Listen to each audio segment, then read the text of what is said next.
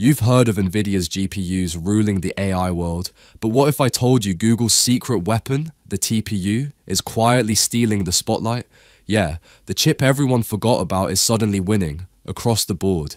10 years ago, when Google first launched the Tensor processing unit, people laughed it off. Cute, they said, but Nvidia already owns AI.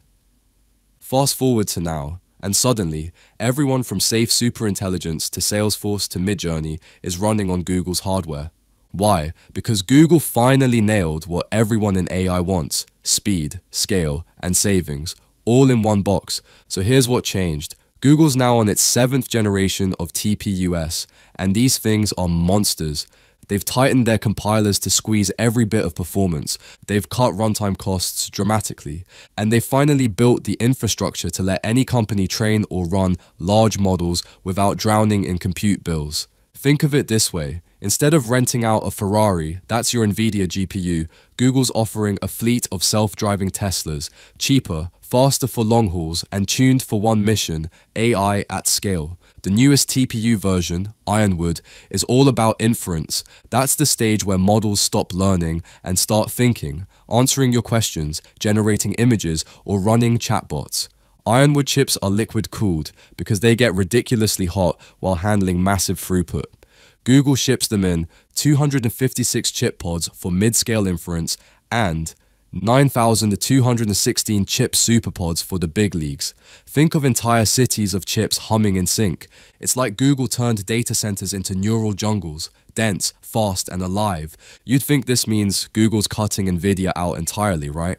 Nope. Google still buys tons of Nvidia GPUs. Why? Because NVIDIA's still unbeatable in one area flexibility. Teams that experiment with custom operations, changing kernels, or mixed workloads still need that freedom. So while Google's TPUS are incredible for efficiency and scaling stable workloads, NVIDIA still owns the creative playground. It's like TPUS or the high-speed train, perfect for mass transit, but GPUS are the motorcycles zipping through the backroads.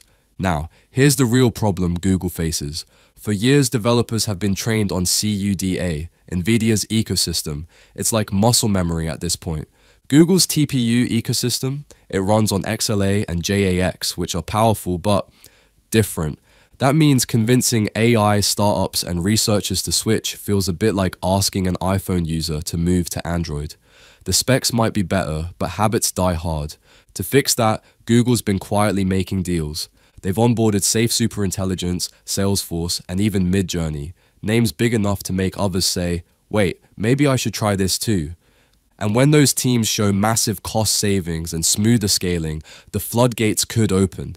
This isn't just about chips, it's about who controls the next generation of AI infrastructure. If NVIDIA's GPUs were the fuel for the last AI boom, Google's TPUS might power the next one, a boom focused not just on performance, but sustainability and economics. Think about it.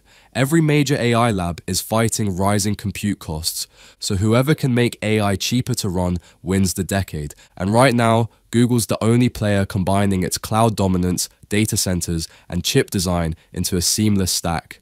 That's something even Nvidia can't fully replicate. It took Google nearly a decade to find the sweet spot of AI demand.